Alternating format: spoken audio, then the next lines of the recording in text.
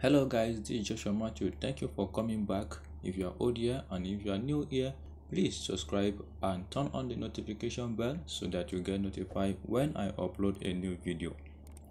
In this tutorial i'm going to show you how to design a flyer like this.